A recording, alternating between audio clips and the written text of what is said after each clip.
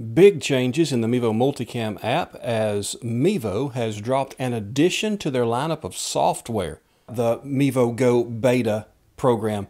It is a free beta, but their disclaimer on the Mevo customer group says the official release of Mevo Go will be a paid feature.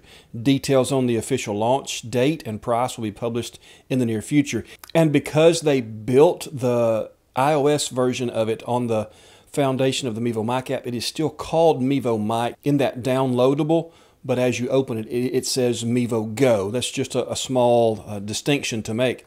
Now, it's going to open up the possibility for us to do, uh, as Ed Quinine said, uh, instant replay because we can use it to uh, to show the YouTube version of of the of what we what we are streaming. We can back it up to what we want it to. Run an instant replay through. We can use it for presentations. Load up your presentation on the iOS or Android device and and show your presentation into multicam. You're going to be able to use it obviously as pre-roll, as local video on your uh, device in your live stream. You're going to be able to use it for announcements and for advertisements, for sponsorships, all those things that, that, that we hope we are going to have access to because of what Mevo is doing with the Mevo Go beta app. First, we'll set up our cameras in Mevo Multicam. So let's go to Add One, make sure of what network we are connected to. That is where I need to be. I can see on this network I have both one Mevo Start and one Mevo Go device. So let's go ahead and connect to both of those and we'll move forward from there. So let's connect to the Mevo Start.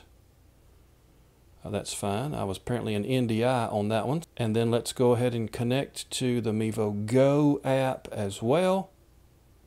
I'm going to kill audio on everything but the iPad so that I know what I'm looking at here. Continue.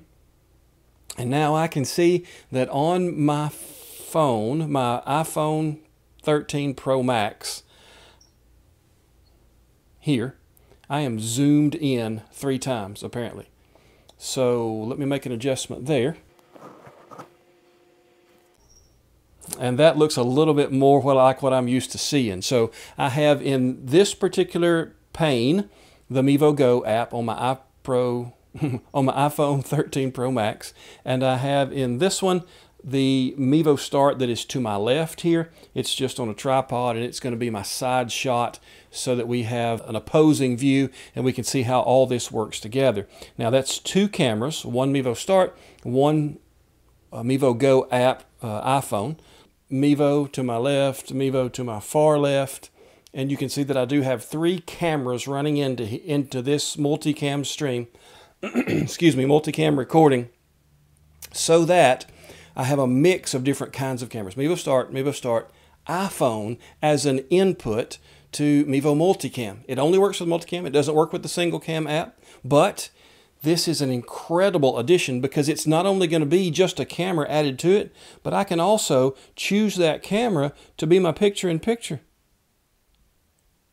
So as you can see on this side of the screen, I'm running I'm running picture in picture with a front facing shot and that one over there. And it can be whatever picture in picture is used for. However you use it, that's a fully featured camera coming in. Now, they do have some bugs with audio. I'm not going to deal with those yet because it's a beta uh, release. And so bugs are bugs, and we just have to know that that's the case. This is just showing the possibility of the features that they've come with in Mevo Multicam. And I got to be honest with you. This is incredible getting ready for baseball season, basketball season, and baseball season. I can set up a couple of Mevos, a couple of cameras. I've got a four camera stream, and some of those cameras can zoom. That's right. The iPhones that we bring in or the Androids that we bring in, if they have the capability in their camera system to zoom in with different lenses, they're making use of those. I asked that question as soon as it was released this afternoon, and the answer came back pretty quick. Yes, we are using the built in cameras if they have a 2x or a 3x zoom. You will be optically zooming into, and then you can still crop past that if you have access to the uh, to the app and want to pinch in even a little bit further. So it's going to give you not only zoom through its lenses, it's going to give you manual focus control if you want it You can set it to auto, you can set it to manual, and it will step through focus steps. You can set the exposure control. You can add to or take away exposure. You can turn the microphone on and off, obviously. You can cycle through your lenses. And then you have some settings that's going to allow you to use your flash as a tally light if you want to. It's going to let you name the camera if you want to. So even though it's a, a beta release that they're just now wanting to get testing feedback on, they already have some incredible features built in to the addition of Mevo Go into the Multicam app. So let's get off of that shot with the iPhone. I'm going to back out of using the iPhone as as audio and video. We'll tap let's see if I can show you here. There it is. We'll tap end session. Yes, I am sure. All right, and here's my choices. Uh, stop. So we also have screen share and the legacy Mevo Mic app, let's go into screen share. Continue. Screen share capture right from the app, it says. I'm going to screen share capture Mevo Go. Everything will be, okay. Start broadcast in 321. All right, we should be screen sharing everything that we've got going on here. So let's let's see if it will uh, it reconnects to that particular uh, device automatically. Now, obviously, it's in portrait mode right now. I'm going to open up a video file and rotate that sideways, and it will fill the screen. I can tap so that I don't have the Yep, and that goes away from the screen as well. And then I can play remote video from a device as one of my inputs. I'll just set this over to the side. I'll let that video play. That is not me right now. I should have picked a video that didn't have the same shirt on or close enough to the same shirt. Let's see if we can choose a little bit different video. Let's see if we can choose a little bit different video and, and maybe have uh, a, a, a noticeable difference here. Okay, so now I have my shot here, Mevo Start. I have a shot down here, Mevo Start as well. And I have my iPhone file share. Here is us getting the opportunity to run video roll pre-service, in between innings, advertisements, announcements, those kinds of things come into our stream if they're loaded on our iPhone. We're loading them up here. Let's see what the sound sounds like.